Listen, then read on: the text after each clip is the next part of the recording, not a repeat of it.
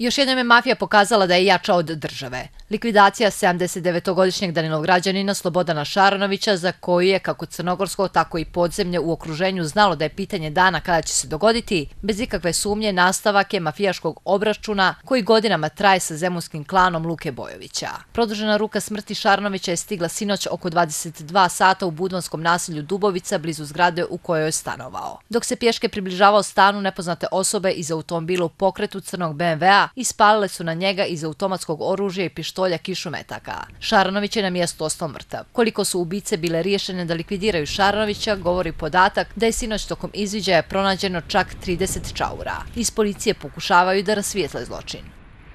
Službenici uprave policije MUPA, Centra bezbjednosti Budva u sadejstvu sa službenicima sektora kriminalističke policije i koordinaciji sa državnim tužilaštvom u Višem državnom tužilaštvu u Podgorici preduzimaju intenzivne aktivnosti na rasvjetljavanju ubistva SŠ iz Budve.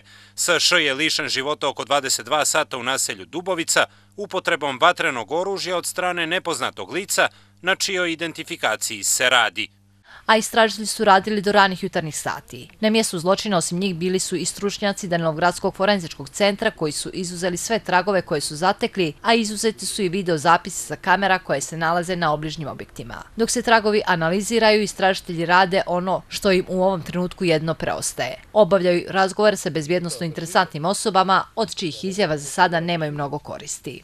Slobodan Šarnović znao je da mu je život u opasnosti. On je krajem prošle godine Budvanskoj policiji prijavio da je na meti ubica.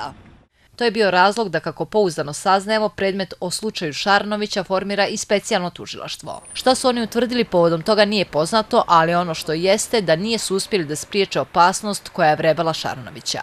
Motiv ovog zločina vjeruje se da je samo jedan, Osveta za organizovanje ubistva Nikole Bojevića, brata Luke Bojevića, koji je likvidiran 2013. godine u Beogradu. Zbog tih sumnji Šaranović se pune tri godine nalazi u pritvoru u Spužu zajedno sa denilnog građaninom Ratkom Koljenšićem, za kog se vjeruje da je navodio ubicu na Bojovića. Šaranović je negirao krivicu, a pušten iz pritvora 8. decembra prošle godine. Srpsko tužilaštvo tvrdi da je Šaranović organizovao ubistvo Bojovića kako bi se osvetio njegovom bratu Luki, za kog se sumnja da je naručio ubistvo Slobodanovog brata Branislava Šarnovića 2009. godine u Beogradu. Iako su srpske vlasti za tri godine više puta tražile se Šarnović izruči Beogradu, to je odbijeno jer je Viši sud u Podgorici ocijenio da nije bilo uslova za njegovo izručenje Koljenšića jer je ubisto Bojovića organizovano u Crnoj Gori.